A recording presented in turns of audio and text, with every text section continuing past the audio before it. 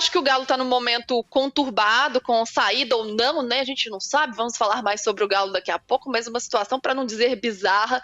Então, acho que é o momento de dar uma baixada, dar uma respirada, entender o que vai acontecer, ver se se resolve com o Cudê ou se vem outro treinador. Então, acho que esse tempo pode ser importante para dar uma, uma respirada mesmo, um alívio nesse momento turbulento.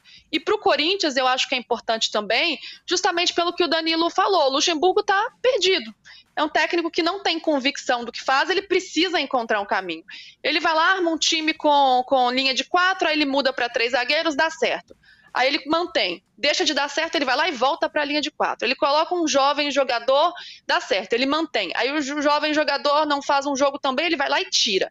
Então ele vai mudando de uma forma aleatória esse time e o Corinthians não consegue encontrar um caminho. O Corinthians precisa encontrar um caminho para sair dessa situação tão complicada agora aí, praticamente na, na zona do rebaixamento. Então eu acho que esse tempo pode ser importante para esses times irem para o divã, darem uma refletida e retomarem a temporada. Acho que o, o Palmeiras nem precisa desse tempo, porque até quando tem jogos em muita sequência, o Abel sabe muito bem lidar com isso, sabe dosar bem seus jogadores e continua jogando da mesma forma, entra jogador, sai jogador. O Abel sabe muito bem lidar com isso.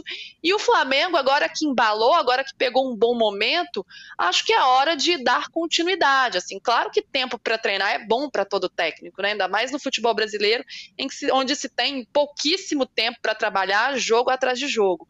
Mas diante do contexto contexto dessas equipes, eu acho que quem está pior, precisando achar um rumo, essa pausa pode ser mais, mais proveitosa para essas equipes.